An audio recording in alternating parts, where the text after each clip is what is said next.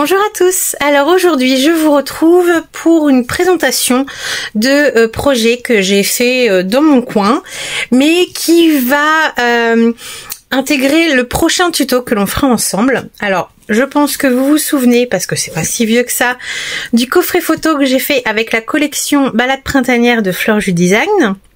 Je ne vous le représente pas. Nous l'avons fait ensemble en tuto. Par contre, euh, eh bien, j'ai tellement aimé ce format de d'album photo que je me suis pas arrêtée là et euh, j'en ai fait un autre. Hop, sur le thème bébé avec cette collection euh, de papier que j'avais dans mes placards depuis un certain moment. J'avais déjà fait un album euh, avec et euh, il me reste quelques feuilles donc bon c'était l'occasion. Celui-ci je l'ai vraiment fait très très simple et je me suis dit que j'allais vous le montrer quand même pour vous dire que c'était pas obligé de faire toutes les interactions qu'on a faites dans les, les albums, les livrets qui sont dedans. Ici donc j'ai repris le même principe, euh, c'est les mêmes dimensions, c'est tout pareil, sauf les livrets qui sont vraiment ultra simples. Je vais vous les montrer. Donc là sur l'avant de la couverture euh, de la boîte du coffret, j'ai fait une petite composition donc euh, pareil hein, que qu'ici, je me suis pas trop cassé la, tête. Hein. Et les livrets, ici donc pareil, j'ai embossé à chaud les portes-étiquettes en métal.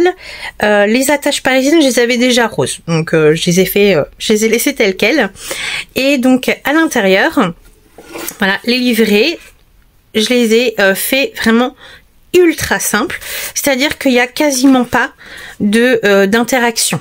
Là, j'ai simplement fait une petite pochette avec une, euh, une chute de papier. Ici, nous avons hop, une étiquette. Je vais pas réussir. Voilà. Euh, une, une étiquette que l'on peut venir coller notre photo à l'arrière. Ici, pareil. Ici, c'est simplement un rabat avec le reste de la feuille, pardon. Ici, hop, un stop. Pareil, le euh, système avec les attaches parisiennes. Ici, on peut glisser derrière la petite déco. Voilà, je suis vraiment restée très très simple. Et ici, pareil, une petite pochette. Voilà, pour vous dire que euh, tout ce qu'on a fait ensemble dans l'autre, eh ben, c'était pas forcément nécessaire. On peut vraiment faire la chose au plus simple. Voilà, donc j'avais envie de vous le partager pour vous montrer. Euh, je me suis bien amusée aussi. J'aime énormément ce format et euh, ça ne s'arrête pas là. Donc je vous montre le dernier livret. Ici donc j'avais fait deux paysages et un portrait. Hop. Après je pense qu'on peut mixer les deux. Moi j'ai fait le choix de, de, faire vraiment un en mode paysage, un en mode portrait, mais euh, on peut très bien mixer et tourner le livret très facilement. Voilà, donc ça c'était ma version bébé avec des chutes de papier qui me qui me restaient dans mes placards. Bon, j'en ai encore, mais euh, j'ai pas réussi à tout utiliser.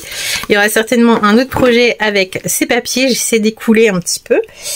Euh, c'est très difficile. Une fois qu'on a goûté aux papiers digitaux, par contre, euh, c'est dur. Voilà. Donc ici, hop, je vous ai pas montré le tour.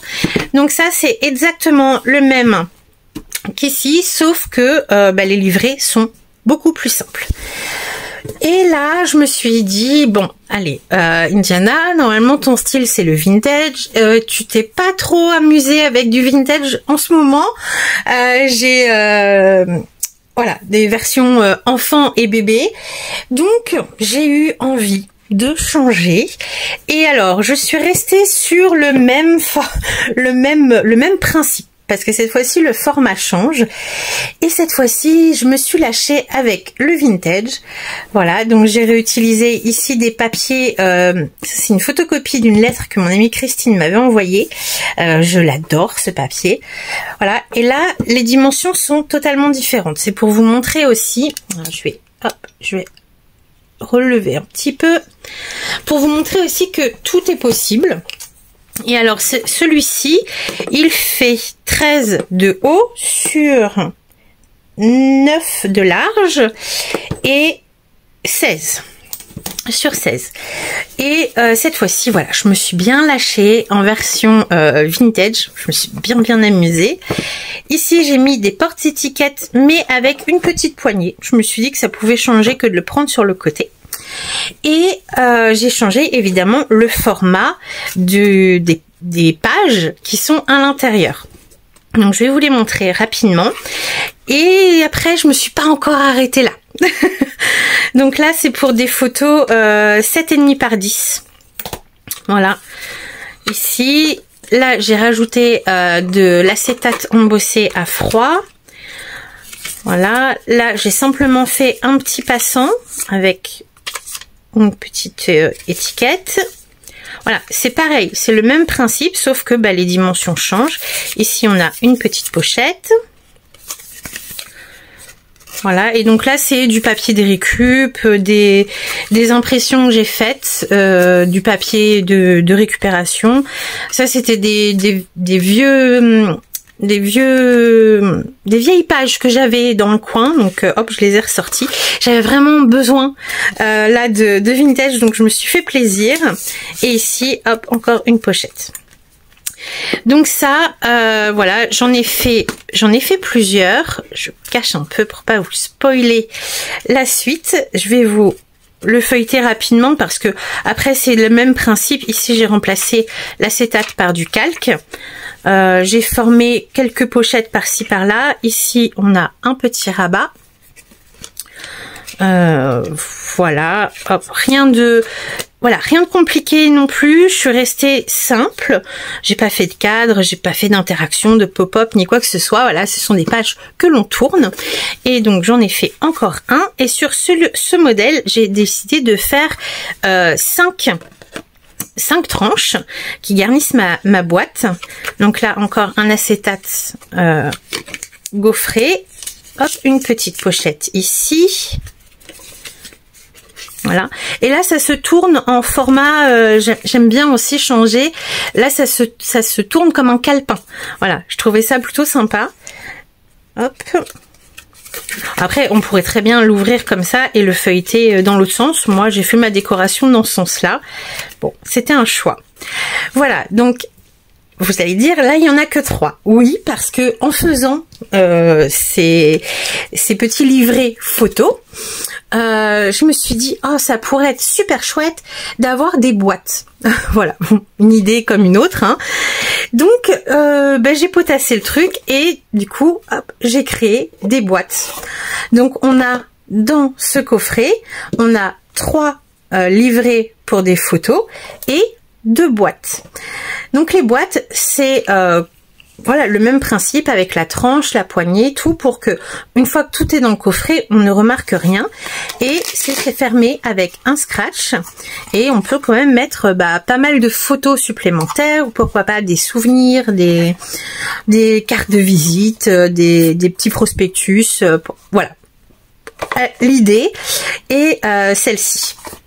Voilà, pareil, avec le scratch au dos et euh, une belle contenance quand même pour y glisser d'autres souvenirs. Donc, euh, le pourquoi de cette présentation, c'est que dans le prochain tuto que je vais vous proposer, on va encore faire, enfin pour ma part encore, ça fera que le 1, 2, 3, ça fera le quatrième projet que je ferai dans le même principe. Mais je l'aime tellement, euh, il y a tellement, tellement de possibilités que voilà, je, ne pense pas m'arrêter ici. Bon, après le tuto qu'on fera ensemble, peut-être, hein, je ferai peut-être une pause sur ce principe, mais je l'aime vraiment beaucoup. Donc, dans le prochain tuto, nous referons un coffret avec ce système, mais que avec des boîtes. Voilà, comme ça, vous pourrez au choix, comme j'ai fait ici, mixer euh, le, le principe avec des boîtes et des livrets photos. Voilà, comme j'ai fait ici.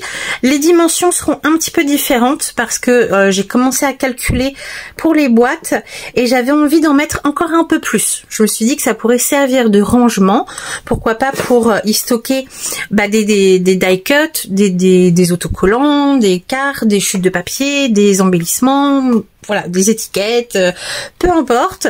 Donc je me suis dit que peut-être que la boîte un peu plus petite suffirait mais en mettre plus.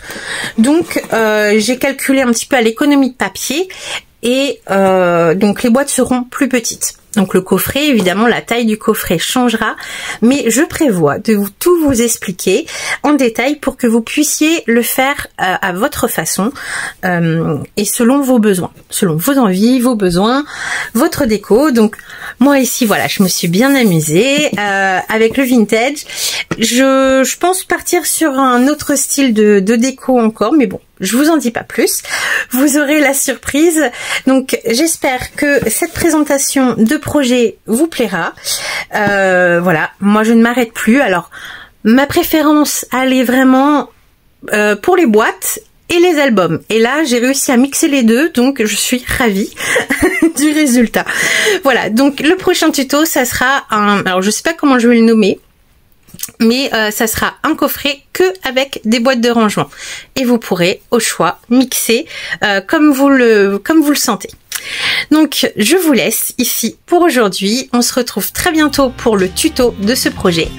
Et moi en attendant, je vous fais des gros bisous, bon scrap et à très bientôt. Bye bye